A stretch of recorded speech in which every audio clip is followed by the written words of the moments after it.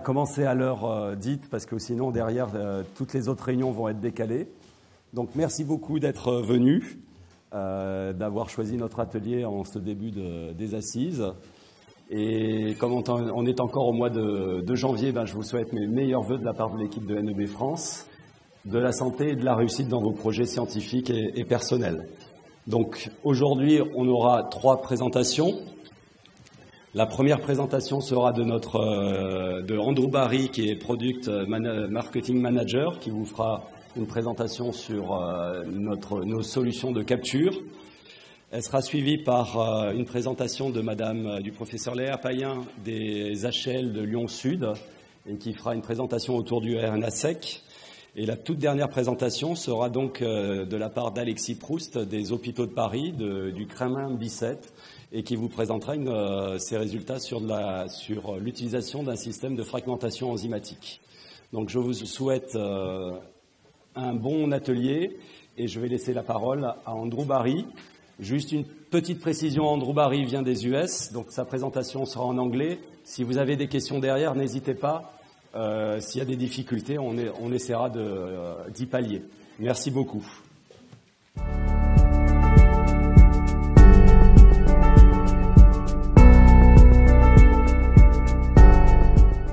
Bonjour, je suis Andrew Barry. Merci d'être venu. Je ne parlerai pas très bien le français, mais mes collègues peuvent traduire vos questions. Thank you for having me here today. Uh, very happy to be speaking to you on behalf of New England Biolabs. Today we're going to be talking about NEB Next Direct custom ready gene panels. Uh, this is really a new offering for New England Biolabs. It's coming soon really meant to change the way we think about uh, the way we can apply target enrichment to doing more focused studies on, on specific uh, areas of interest and specific genes of interest um, in, our, in our work. So I thought I would start off with a quick story. Uh, this is a picture of me uh, working at the Broad Institute, or what would become the Broad Institute, in the year 2002. Um, and I was taken to a presentation by the director, uh, Dr. Eric Lander, um, and he said something at that presentation that, that really impacted me and has really impacted uh, my career for, for the time since. And, and what he said was that his goal was not to cure any specific disease, but to create a, a library of universally accessible uh, genomic information so that a, an intelligent graduate student would have the information that they need to be able to treat and cure any disease. Um, and this is something that I think is, is you know, really at the forefront of, of a lot of the work that, that we all do. Uh, so, if we think about what's happened over the last 15 years or so, um, really what we've done is create a, a, a, real, a, lot of data. And obviously, next generation sequencing has enabled much of that. Uh, obviously, this is the Moore's Law uh, figure in terms of the amount of genomic data that's been produced over time. Um, the world's sequencing data is now doubling every seven months. And um, with everything that has been produced to date, I think that's important to think about. And you know, really hits home when you, when you think about the fact that in July of 2018, 2018, this year, we will have twice the amount of genomic data that we have today. And, and you know, think about the profoundness and the impact that that will have in terms of you know, data that's been generated, going through analysis, and, and actually getting to um, be able to, to, to make clinical decisions. And really, what we're doing is we're, we're, associating genotype with phenotype, and you know, creating the ability for people to do the types of studies that they had always wanted to do. Um, but really, what we're doing is we're creating a library, and we're creating that library of information. And when we think about these databases that we filled up, I thought it was an interesting. Uh, I, did, I, did, some some uh, calculations, and EXAC, which is the Exome Aggregation Consortium, um, this is one of those databases that allows people to, to look at the variant allele frequencies uh, across populations, and this is you know universally accessible and a really powerful tool. But you know most of this was done using exome capture, and when we think about exome capture, when we think about you know the performance of that, we're typically getting somewhere between 70 and 80 percent of those reads actually mapping to our targets.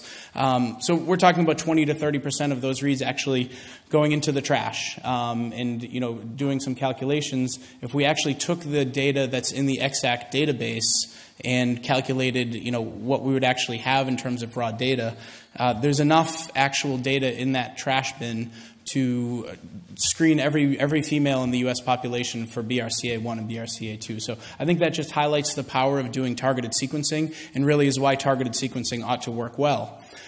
So when we think about targeted sequencing options, really it falls into two bins for the type of enrichment that we're doing. Uh, the first being a multiplex PCR or amplicon-based approach, and it has its benefits. It's a fast workflow. Uh, it tends to be less expensive, uh, uses relatively little input DNA, and has good specificity for the targets that we're interested in. The difficulties come in that it's hard to scale the content beyond a certain size, um, and if you want to add more content to that, it really becomes a primer design question, becomes very difficult. And then we also have the issue of uniformity of cross targets, because really we're talking about amplification and PCR as the primary mechanism of enrichment here.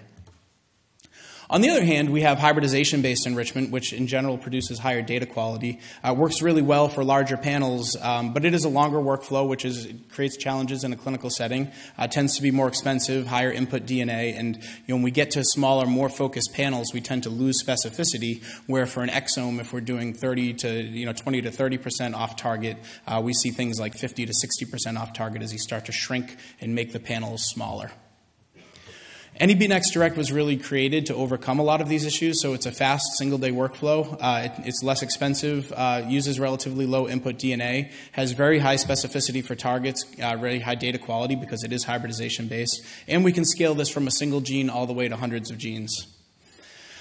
Just going through the workflow, uh, the first step is actually, this is different than any other hybridization approach, where the first step is to actually hybridize our oligonucleotide baits uh, to the genomic DNA of interest. Uh, so rather than making a library first and then hybridizing our baits, we hybridize directly to the genomic DNA.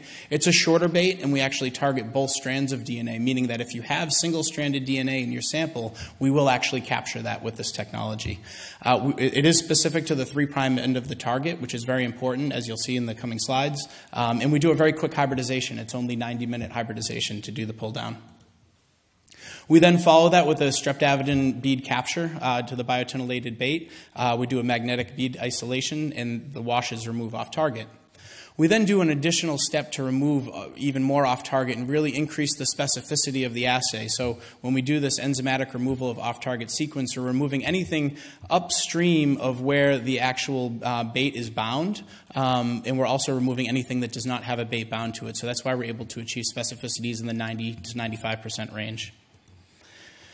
We then do a three prime adapter ligation. This is our loop adapter. Um, the protocol, it, during the protocol, the, the, captured molecules remain bound to the streptavidin bead, so it's a single tube protocol and eliminates lots of sample loss and, and makes it highly amenable to automation.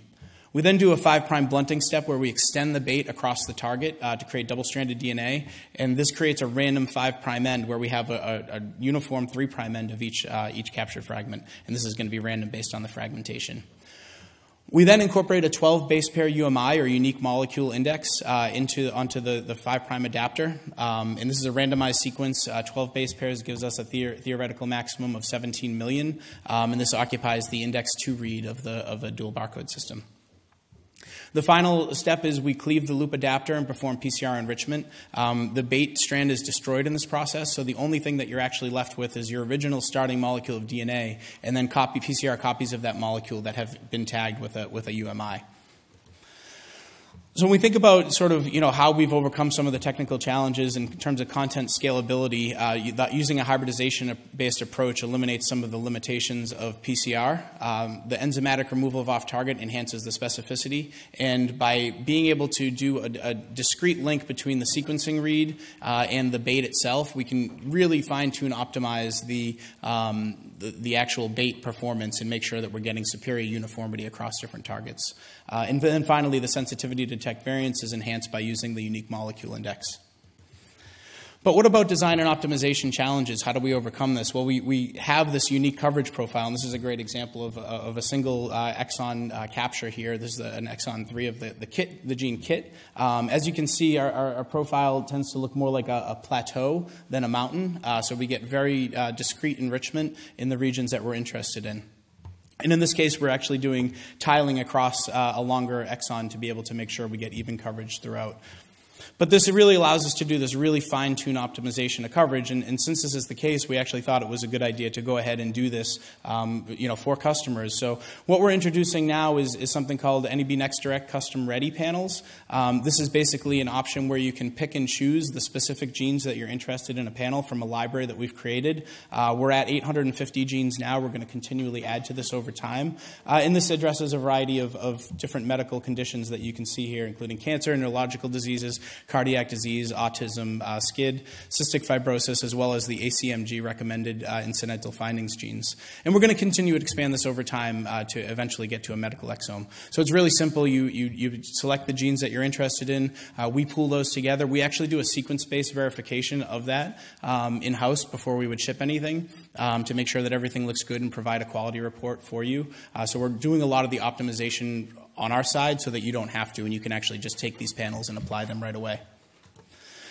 So in terms of performance, uh, what we see across the range of sizes, so right now we support everything from a single gene all the way up to about 1.5 megabases of, of target territory. Um, on the left, you see the percentage of reads allied to genome, but really looking at the percentage on target, as I mentioned, you know, we're getting very high specificity for these panels. And on the right, what you see is, is our ability to maintain the performance regardless of what genes are included in the panel. So what we did on the right is basically you see a single gene panel run by itself, and then that single gene run in, in, in a panel with other genes there. And what you see is the, the, the target behavior in terms of the coverage is actually maintained regardless of what content that you choose. Similarly, we look at the uniformity. Um, so this is obviously sorted from highest performing to, to, lowest performing. This is looking at the normalized mean coverage uh, across different uh, panels. So on the top, you see a 215 kilobase panel, and on the bottom, you have a 17 kilobase panel. As you can see, the profiles are very similar. Um, ideally, what we want is uh, our coverage to be equivalent to one across all of those targets. Um, but as you can see, we're doing very well here. Finally, looking at uh, predicting allele frequencies. So in this experiment, what we have is we have uh, pooled 24 HapMap samples. Uh, these are well defined and have truth variants uh, included in them. Um, the only reason that we pooled the samples together was to increase the density of variants that are present within our, this is actually looking at our cancer hotspot panel. Um, and what we see is that we're able to be very predictive of allele frequencies across the dynamic range, uh, which is extremely valuable when applying this in a, in a clinical setting.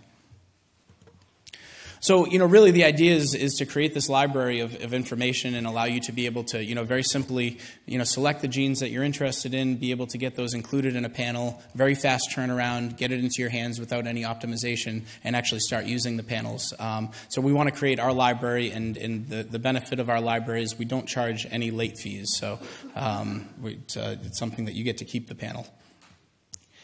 So I guess just to conclude, um, NEB Next Direct custom ready panels employs our unique NEB Next Direct hybridization-based enrichment, uh, high specificity, uniform coverage of targets. Um, the coverage depth is compatible with both germline and somatic variant calling. Um, the unique molecule index improves the specificity and the sensitivity, um, and the one-day automation-friendly protocol really makes it valuable for, for use in a clinical environment. Custom Ready op- option really enables rapid customization for targeted gene panels, so it's flexible, scalable content uh, from a single gene to hundreds of genes. Uh, rapid turnaround, so you don't have to wait for us to design, synthesize, and optimize the content itself. We've done that ahead of time. Um, I mentioned the sequence-based verification of every panel, so that's something that uh, I think really you know gives us confidence in, in terms of the performance of the panel and how it will work in your hands, and really allows you to focus on the biology itself and not have to worry about you know buying an off-the-shelf panel that has genes that you may not be interested in, or, or you know, you might want to include some extra genes in there, and allows you to do that very easily without a lot of, uh, a lot of hassle and, and a lot of waiting. Um, the, the, benefit here is also that you can do this without having to place a large order. So these are available uh, in 8, 24, 96 reaction kits. So if you had a panel that you wanted to test out, we could put that together for you, and all you would need to do is purchase an 8 reaction kit. So that's all for today. Uh, happy to take a question or two. We have a few minutes here, and, and before I turn it over to the next speaker.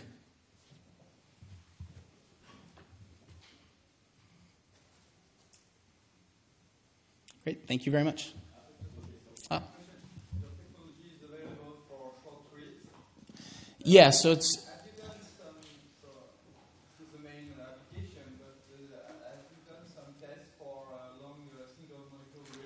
We have some we have some testing in development now. Um, we're really looking to push the envelope for how long it could be because you know the fact that we capture flanking region and then can extend across the rest of the molecule that's captured, um, we think there could be some good applications for long reads. Um, but we're testing the ability to capture um, and I'll obviously be able to synthesize the double stranded complement of our, of our target. Um, we don't have an answer yet, but that is something that we're working on.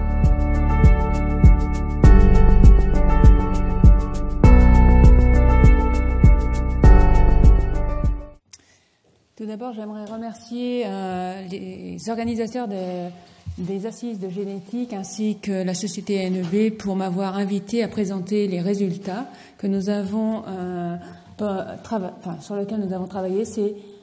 Nous avons travaillé afin de déterminer les Excusez-moi. Nous avons travaillé afin de déterminer les, mécanismes toxicologiques et les effets moléculaires de différentes molécules à haute énergie qui sont euh, produites à des fins industrielles et non médicamenteuses. Euh, ces molécules appartiennent à une famille de, molécules des pyrazoles ces travaux ont été réalisés au laboratoire de biochimie et de biologie moléculaire aux Hospices civils de Lyon. Euh, dans le laboratoire où on fait aussi euh, une recherche pharmacotoxicologique. Nous avons aussi collaboré et nous travaillons aussi avec l'INSERM 1052 du Centre de cancérologie de Lyon, dirigé par le professeur Alain Puisieux. Mes propos vont s'organiser en différentes problématiques. Tout d'abord, je vais introduire pourquoi on s'est intéressé aux aspects pharmacotoxicologiques de ces molécules. Ensuite, pourquoi c'est important de s'y intéresser. Je vous présenterai euh, les technologies que nous avons utilisées pour étudier les aspects pharmacologiques, les résultats obtenus et je conclurai. Donc tout d'abord, pourquoi on s'intéresse à étudier les effets toxicologiques des molécules à des fins qui sont destinées à des fins industrielles et non pas à, des fins médicamenteuses? Eh bien tout simplement parce qu'il y a une nouvelle réglementation, la réglementation REACH, qui impose à l'industriel de connaître un, un minimum de la toxicologie des molécules qu'il va développer et qu'il va en fait émettre dans l'environnement à des fins industrielles. Donc, euh, en fonction du tonnage des molécules industrielles produites, il doit réaliser un certain nombre de tests toxicologiques. Pour cela, nous avons à disposition différentes euh, méthodes. Tout d'abord, aujourd'hui, on utilise des méthodes in silico que vous voyez ici. Si on connaît les cibles potentielles, comme pour un perturbateur endocrinien, un récepteur nucléaire, comme euh, les récepteurs aux œstrogènes, eh bien, on peut faire des études de docking moléculaire, c'est-à-dire de regarder si la molécule qui est en développement va interagir avec le site d'interaction du récepteur. Si oui, il y a un risque de perturbation endocrinienne. Mais il y a aussi d'autres approches in silico, c'est-à-dire qu'on a aujourd'hui à disposition des bases de données dans lesquelles on connaît la toxicité euh, au niveau euh, général, c'est-à-dire la DL50, la dose létale 50 sur différents organismes, mais aussi le métabolisme de, ces molécules et aussi la génotoxicité de ces molécules. Ces données sont acquises avec des tests euh, comme le test DEMS mutationnel. Ensuite, avec des, règles des, règles CUSAR, on peut dire, prédire si oui ou non la molécule en développement pourra être génotoxique, par exemple. Mais c'est une prédiction et ça reste pas une affirmation. Par conséquent, on est obligé d'utiliser des modèles cellulaires dits normaux dans ce cas-là, donc des modèles par exemple de cellules épithéliales euh, ou des cellules euh, d'entérocytes, des, des cellules hépatiques, pour étudier l'impact de ces molécules sur la physiopathologie des cellules normales. Mais cela reste limité. Il nous faut donc euh, étudier sur des tissus euh, reconstitués et pour cela, il y a à disposition différents modèles de cellules, euh, de tissus dermiques ou de tissus intestinaux. Mais maintenant, on n'arrive pas encore à accéder aux tests, enfin, au pouvoir euh, cancérogène et aussi au pouvoir reprotoxique de ces molécules. Pour cela, on a appel à des tests in vivo chez la souris ou d'autres euh, modèles euh, de rongeurs. Ensuite, si la molécule a toujours un intérêt industriel et si sa toxicité reste limitée, ou on est capable de prévoir euh, les limites d'utilisation, on peut euh, l'utiliser et voir dans des études épidémiologiques l'impact que ça a chez l'homme. Donc aujourd'hui, on va s'intéresser plus particulièrement à la toxicologie, l'absorption, la distribution, le métabolisme et l'élimination des molécules. Pourquoi? Parce que dans l'organisme, eh on va être exposé soit par une absorption au niveau de la peau ou du poumon, soit au niveau après absorption euh, gastro-intestinale. Et un organe majeur va être le foie, où c'est l'usine métabolique, et donc c'est là où on va éliminer, enfin métaboliser et éliminer nos molécules. Donc, il va être intéressant de se connaître l'impact des, euh, de nos des xénobiotiques que l'on développe dans l'industrie sur cet organe. Pourquoi? Parce qu'on s'est aperçu, et ça grâce à beaucoup de molécules médicamenteuses, que lors de l'exposition à des médicaments, on pouvait avoir une hépatotoxicité. Là, vous voyez une macrostéatose avec l'irinotécan, qui est un médicament anticancéreux, ou une nécrose centrolobulaire qui est liée à une forte exposition au célèbre paracétamol que tout le monde utilise. Bien sûr, ces effets ne sont observés qu'en surdosage aigu euh, lors d'une prise vraiment très conséquente. Pour évaluer les effets toxiques des xénobiotiques sur le foie, on a aujourd'hui à disposition, car grâce à l'équipe de, euh, des Guyouzou à Rennes, un modèle cellulaire qui est nommé EPA-RG. Et donc ce modèle cellulaire est extrêmement intéressant et je vais vous le développer plus tard. Donc aujourd'hui, avec un modèle cellulaire, on est capable d'identifier de nouveaux biomarqueurs et d'identifier par des tests fonctionnels le niveau toxique des xénobiotiques et d'identifier aussi les mécanismes de mort qui vont être impliqués. Mais il est extrêmement important aujourd'hui aussi d'identifier les cibles et en particulier identifier les protéines avec lesquelles les xénobiotiques, la molécule d'intérêt en développement, va interagir. Mais aussi comment euh, cette molécule va modifier euh, l'expression des gènes qui vont être impliqués dans différentes voies de signalisation ou différentes voies métaboliques. C'est extrêmement euh, important et là, il y a un apport clair et net des études en RNA sec que je vais vous présenter tout à l'heure, les études transcriptomiques. Après, un autre aspect que nous abordons, nous, en clinique, euh, en diagnostic, c'est le polymorphisme génétique et c'est la pharmacogénomique. Car on sait que on n'est pas égal les uns et les autres, on porte des mutations, on porte des polymorphismes qui vont impacter sur le devenir d'une molécule au sein de notre organisme. Donc maintenant, je vais vous présenter la plus particulièrement la, problématique d'ici. C'est on a une, une, série de molécules. Ce sont des pyrazoles, dont vous voyez la formule générale ici. Je ne peux pas vous décrire exactement les molécules car elles restent confidentielles. Elles sont en cours de développement. Et il nous faut déterminer lesquelles sont les moins toxiques pour l'organisme et tout en gardant en fait leur effet industriel, leur potentiel industriel. Donc, pour cela, nous avons utilisé le modèle EPA-RG. C'est un modèle intéressant développé par l'INSERM à Rennes qui nous a permis euh, d'avoir des cellules d'un hépatocarcinome humain qui va proliférer pendant les 15 premiers jours et va se différencier sous pression au DMSO, sous exposition au DMSO à 1%, en hépatocytes avec toute leur capacité métabolique. Et à côté, vous aurez aussi des cellules dites plutôt biliaires-like qui va permettre la différenciation des hépatocytes. Donc, on va avoir un modèle proche de ce que l'on peut trouver dans les hépatocytes normaux. Ces résultats ont déjà été publiés par euh, différentes équipes.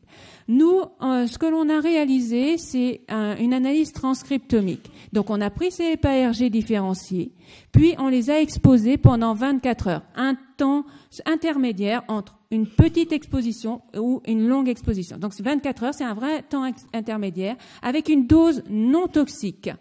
Et pour pouvoir savoir quelle était la répercussion dans une exposition dite chronique de background chez l'homme sur la fonctionnalité des hépatocytes. Donc pour cela, on a pris euh, les librairies NEB, euh, dont la technologie a été plus ou moins développée par mon collègue précédemment. On a traiter ces cellules ou non avec ces molécules et on a regardé, on a étudié les différences d'expression des gènes dans ces, ces hépatocytes. Ensuite, on a bien sûr validé euh, sur 15 transcrits que euh, nos résultats étaient en accord avec euh, le niveau d'expression fait en, PCR quantitatif et on a corrélé les RPKM, c'est-à-dire le niveau d'expression euh, des rides euh, dans notre transcriptomique aux valeurs de CT pour les mêmes transcrits euh, en QPCR. Donc maintenant, au niveau des résultats, eh bien tout d'abord, j'aimerais vous présenter les données sur la cytotoxicité globale, c'est-à-dire un MTT tout simple, c'est savoir quel est l'effet de nos molécules, quelles sont les doses toxiques de nos molécules sur notre euh, modèle EPA-RG en prolifération ou différencié. Tout d'abord, on peut constater que quelles que soient les conditions, eh bien, les molécules, bien qu'apparentées, ont des toxicités bien variables, bien différentes. Cette molécule B est extrêmement toxique, alors que les molécules D et E et G ne le sont pas. Ensuite, on a pu constater qu'il y avait un effet de la différenciation qui est probablement lié aux capacités métaboliques acquises par ces EPA-RG euh, sous pression du DMSO. Et on voit en effet qu'elles deviennent beaucoup plus tolérantes à, aux molécules. Et donc les CI50, les concentrations inhibitrices 50, sont plus élevées. Ceci nous a permis de déterminer une dose non toxique à 72 heures et nous a permis de d'exposer ces cellules EPA-RG différenciées à cette dose non toxique pendant 24 heures, puisqu'on voulait avoir les effets biologiques sans mort euh, que pouvaient euh, provoquer ces molécules. Et on peut constater que deux groupes se, dessinent. Vous avez le groupe des molécules toxiques A, B, C, qui ont avait des CI50 faibles, et le groupe des molécules non toxiques D, E, F on voit dans cette analyse transcriptomique globale que euh, ça les gènes, les transcrits se clusterisent en fonction du niveau de toxicité. Et ce qui est extrêmement intéressant, c'est qu'on a des down-régulations pour certains gènes, pour les molécules non toxiques, qui sont en fait up-régulées euh, dans, euh, dans, les molécules toxiques. Donc on a voulu aller un petit peu plus loin parce que effectivement c'est extrêmement intéressant de pouvoir juste sur le transcriptome reclasser nos molécules. On, s'est intéressé au métabolisme des xénobiotiques. Alors en quelques mots, il se passe en quatre phases. Vous avez d'abord l'absorption des, des molécules dans la cellule. Vous la phase 1 qui est cytochrome souvent dépendante, la fonctionnalisation, la phase 2 et la phase 3 qui est l'élimination. Globalement, qu'est-ce que l'on voit? Eh bien, que les, les phases 1, donc d'entrée de la molécule, sont souvent augmentées dans les molécules non toxiques, que la phase 2 aussi, donc on métabolise mieux, euh, alors que c'est réprimé en général dans les molécules toxiques. Si on va un peu plus loin, on voit de façon intéressante que la phase 2 est aussi up-régulée pour les molécules non toxiques, alors qu'elle est down-régulée pour les molécules toxiques. Là, ça va bien parce qu'on a un, un, processus qui est coordonné pour les molécules non toxiques et bien métabolisée et bien éliminée de la cellule, alors qu'une molécule toxique bien, rentre moins bien, moins bien métabolisé, donc reste plus longtemps dans notre organisme et peut provoquer des effets biologiques toxiques. Maintenant, on s'est posé la question en fonction de leur euh, structure, mais aussi d'une problématique importante, c'est la la génotoxicité. Alors, évidemment, au niveau industriel, on est tenu de faire des, tests, euh, des tests réglementaires, le test d'Ames bactérien qui est la mutation, les tests de plastogénicité sur des modèles euh, murins voire humains.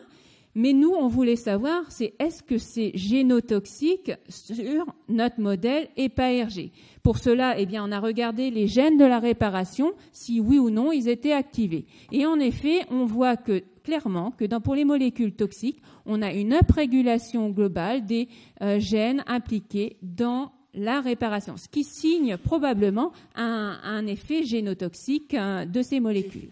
Alors, on a aussi, en complément, fait un test plutôt euh, fonctionnel qui est la, phosphorylation de la sérine 139 de la protéine H2AX. Là, c'est notre contrôle positif avec la doxorubicine. On voit extrêmement bien qu'on a une, augmentation de la phosphorylation au niveau euh, des fossiles et donc un stress génotoxique, et ceci juste après deux heures d'exposition.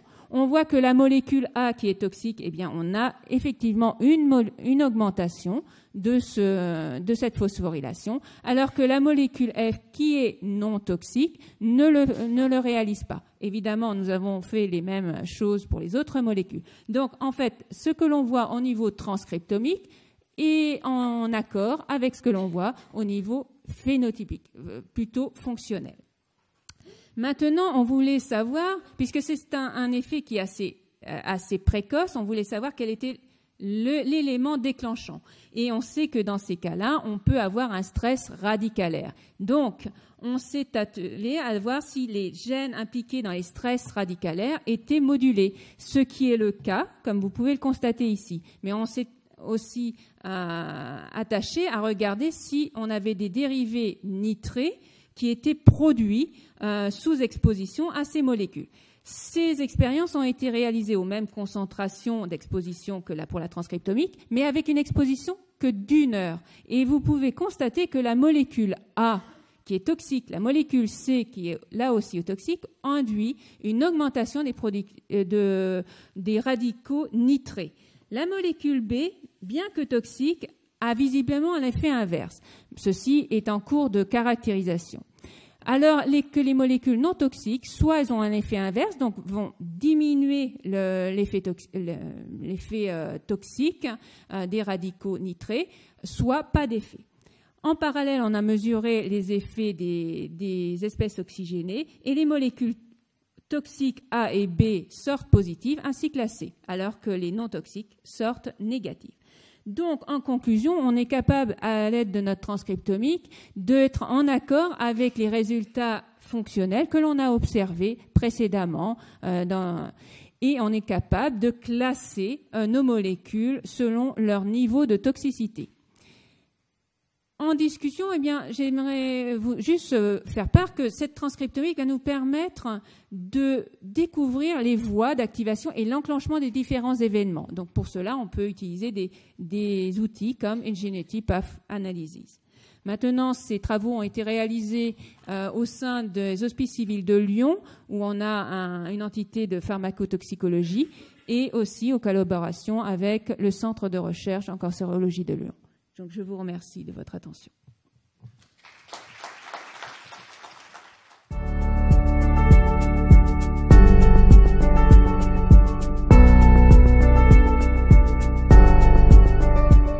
Euh, bonjour à tous. Euh, je remercie déjà les assises de génétique et l'IMEB de m'avoir invité. Donc, euh, je travaille au laboratoire de génétique de Bicêtre au sein des hôpitaux universitaires Paris-Sud et je vais vous présenter une comparaison de méthodes entre la fragmentation enzymatique et la fragmentation euh, mécanique pour la préparation de librairies euh. Donc, nous faisons partie d'une plateforme, d'expertise maladie rare qui regroupe 20 centres de référence, pour lesquels, au sein de notre laboratoire, nous avons 8 panels NGS et euh, nous avons un potentiel de séquençage actuel de 1000 patients par an. Notre euh, processus NGS repose sur une technique générique qui euh, est basée sur une capture par hybridation, euh, ce qui nous permet d'avoir une très grande fiabilité et un coût réduit. Et ce protocole nous permet de générer des librairies compatibles avec du génome entier ou de l'exome complet. Cette euh, technique est automatisée sur des euh, robots Beckman, donc euh, le Biomex Man 8 pour la préparation des librairies génome entier et le Biomex 4000 pour la capture des régions cibles. Les produits sont séquencés sur un Illumina MySeq et nous réalisons une analyse bioinformatique grâce à une instance Galaxy in situ qui nous rend autonomes. Voilà, donc ça c'est notre protocole générique actuel. Donc, où on va donc commencer par une préparation de librairie. Nous faisons actuellement une fragmentation d'ADN par ultrasonication en utilisant un Covaris M220. Ensuite, nous utilisons la méthodologie NEB pour générer nos librairies. Et tout cela est réalisé donc sur le robot Span 8. Nous effectuons ensuite une capture avec les, produits Agilent et euh, nous faisons un séquençage MySeq. Et lors de ce protocole, nous nous sommes aperçus qu'il y avait un, maillon faible, en tout cas sur notre euh, protocole, qui était en fait le Covaris. En effet, euh, bien que le Covaris nous donne entière satisfaction en termes de qualité de fragmentation, il se pose le problème que c'est déjà une fragmentation tube à tube, donc extrêmement longue, et que s'il devait euh, être amené à euh, avoir un problème, euh, nous ne pourrions plus générer de résultats. Donc, il s'est posé la question de soit de passer sur une méthode, donc un, un plus gros, donc avec un investissement certain, soit en passant par une méthode enzymatique pour avoir en fait tout simplement une méthode dégradée. Alors les protocoles euh, Covaris qu'on utilise, donc, montrer ici, nécessitent une fragmentation par ultrasonication qui nous dure à peu près 3h30 pour 48 euh, échantillons. Alors que le protocole NEB utilisant la, fragmentase euh, nous permet en fait d'associer la fragmentation euh, en le couplant à l'anriper ligne ce qui nous fait donc euh, économiser trois heures et demie de temps euh, sur une technique et donc la préparation de librairie pourrait euh, tenir sur la journée comparé à ce que l'on pouvait avoir avec la fragmentation Covaris. Donc, du point de vue validation de méthode, il a d'abord fallu déterminer les variables de fragmentation, donc en faisant varier les quantités d'ADN, les temps de fragmentation et les paramètres de sélection de taille. Et une fois que ces euh, paramètres ont été euh, déterminés, euh, nous avons essayé de faire, nous avons fait des tests de répétabilité et de reproductibilité. Donc tout d'abord, on a comparé les profils de librairie, et ensuite on a fait sur un faible échantillonnage des tests de répétabilité, reproductibilité et un test grandeur réelle avec une série de 46 échantillons. Ensuite, nous avons regardé la qualité des librairies euh, du point de vue séquençage. Et nous avons donc euh, regardé tout ce qui concerne les tailles d'inserts séquencés, les couvertures 20x, le pourcentage d'on-target, les régions riches en GC et bien évidemment les variants qui étaient générés. Donc voici un profil de, librairie l'on a, tel que l'on obtient après optimisation. Et donc, euh, nous partons à partir de 100 nanogrammes d'ADN et nous faisons une fragmentation de 18 minutes. À partir de ces conditions, euh, nous avons fait donc une comparaison en fonction euh, de la fragmentation enzymatique NEB et de la fragmentation Covaris. Et on peut s'apercevoir que les profils sont parfaitement superposables, à ceci près que l'on utilise dans cette technique-là 10 fois moins de matériel génétique. Nos tests de répétabilité ont été faits sur un patient pour lequel nous avons fait cinq dilutions euh, différentes à 100 nanogrammes et euh, pour lesquels nous n'avons euh, jamais observé de biais quelconque concernant la taille. par contre, dans nos tests de, reproductibilité sur huit patients différents, on a eu tendance à observer une légère baisse en fonction du temps donc euh, voilà, c'était une petite incertitude euh, à ce point de vue-là. Et donc du coup, il a fallu faire un test, je dirais, avec beaucoup plus d'échantillons pour voir si ce biais était reproductible ou si c'était uniquement dû à la technique qui avait été réalisée. Donc là, on peut observer donc le résultat de la fragmentation enzymatique sur 2 fois 23 échantillons. Et en fait, le biais n'est absolument pas reproduit. Euh, donc, euh, lorsque l'on compare une technique de 48, euh, 46 échantillons en fragmentation enzymatique versus une fragmentation Covaris, on s'aperçoit que effectivement, on a une légère amélioration de la précision dans la génération de ces librairies. Ensuite, nous avons donc analysé les données de séquençage Et on peut s'apercevoir que pour un même échantillon séquencé dans un même run, on s'aperçoit qu'effectivement le profil des tailles d'insert est quasiment superposable, ce qui signifie qu'effectivement on ne devrait pas s'attendre à avoir une grosse différence, en tout cas en qualité. Et ces données ont été donc générées par euh, Picarmetrix, Insert Size. Nous avons ensuite regardé donc les résultats de couverture 20x et de pourcentage on target. On s'aperçoit que euh, ces résultats sont bons et qu'ils sont euh, et qu'ils ont des petits p qui sont sont très bons. donc la, la, couverture 20x est légèrement supérieure en fait par rapport à une fragmentation Covaris. Par contre, on a un très net gain euh, de pourcentage de target, ce qui nous laisse augurer de bons résultats. Tout ceci, en fait, après, euh, on a regardé sur IGV pour regarder un peu les profils des régions riches en GC, savoir si on pouvait avoir une amélioration euh, au niveau séquençage. Et ici, donc, j'ai pris l'exemple du gène KISS1R, pour lequel, quelle que soit la profondeur moyenne de lecture pour les patients, euh, on n'a jamais pu séquencer plus de 4x, voire maximum 10x sur cette région. Alors que lorsque l'on utilise le, protocole de fragmentation enzymatique, euh, on s'aperçoit qu'on arrive à 40x, voire 80x, et que donc du coup la profondeur varie en fonction euh, de notre profondeur moyenne. Et donc, ce qui nous laisse présager que pourra récupérer pas mal de régions euh, qu'on ne pouvait pas euh, interpréter jusque-là avec une fragmentation euh, mécanique. Donc forcément, avec une couverture améliorée en 20x, un non-target également amélioré et des régions riches en GC qui sont mieux couvertes, eh bien, forcément, on arrive à trouver des endroits où on peut de nouveau détecter des variants que l'on n'aurait jamais pu détecter auparavant.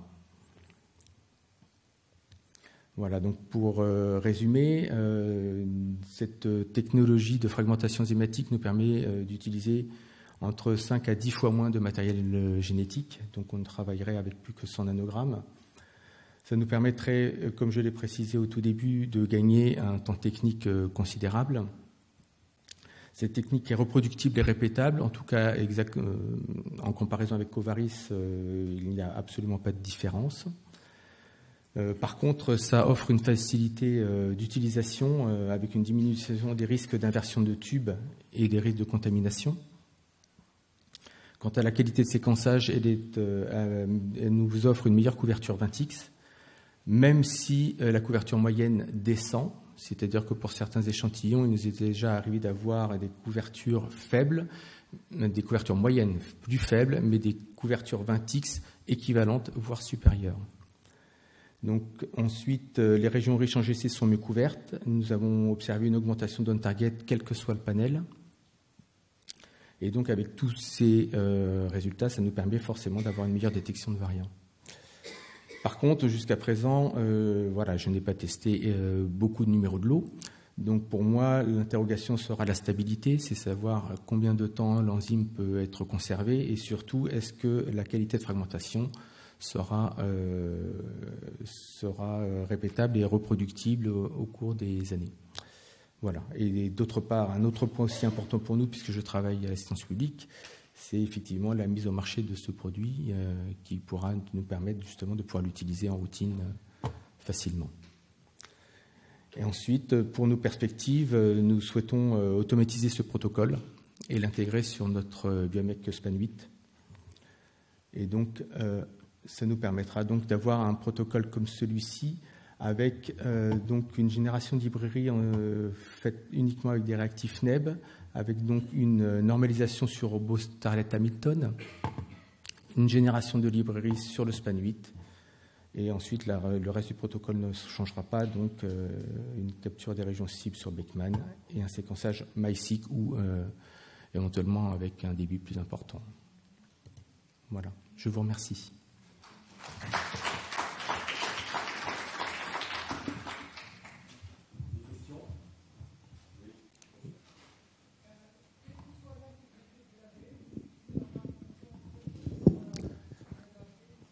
Alors, euh, nous, nous avons des extractions d'ADN à partir de Kia Symphony, extraction au sel, Easy One, et jusque-là, on n'a pas eu de différence. Euh, par contre, on n'a jamais encore testé euh, d'ADN extrait sur tissu paraphilie.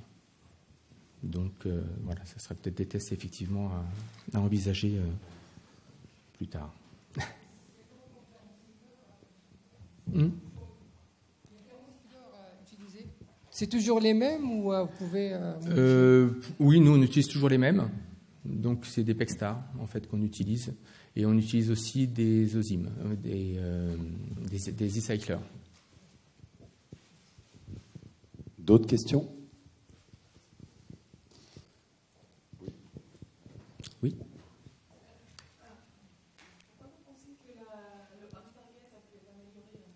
Parce qu'en fait, on a passé des échantillons euh, sur les mêmes runs. Donc, en fait, on a utilisé des, des, librairies euh, euh, issues de fragmentation cinématique, des librairies issues de fragmentation Covaris sur les mêmes échantillons qu'on a passés dans les mêmes runs de MySeq. Et donc, et là, c'était clair, on a toujours eu un, un gain significatif sur le target.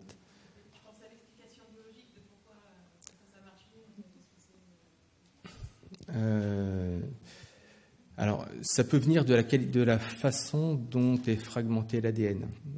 Parce qu'effectivement, là, c'est une fragmentation à double enzyme. Donc, il y a d'abord une coupure d'un brin, d'un des, deux brins, donc de façon aléatoire. Et ensuite, il y a une autre enzyme qui va couper les simples brins. Et donc, je pense que euh, euh, c'est ce, qui ce qui permet peut-être d'expliquer que euh, la répartition des tailles de fragments est différente que par une fragmentation mécanique. Et donc, du coup, euh, il peut y avoir forcément un biais, forcément après au séquençage. En fait, euh, ça se voit bien au niveau de, déjà des, euh, régions riches en GC. On arrive largement à récupérer des régions qui n'étaient absolument pas séquencées. Et, et, ça, ça prouve que la qualité de fragmentation est différente. En tout cas, l'approche étant différente, on ne fragmente pas les mêmes endroits. Et donc, du coup, ça peut permettre d'expliquer pourquoi on arrive à avoir des meilleures zones target. Pour plus de précision, c'est un système de fragmentation multiple, comme vous l'avez compris, et la fragmentation est tout à fait aléatoire, à la différence d'autres euh, systèmes enzymatiques ou euh, ce qu'on appelle les fragmentases. Donc là, ce n'est pas une fragmentase, c'est un système vraiment de fragmentation. Merci beaucoup, bonne continuation.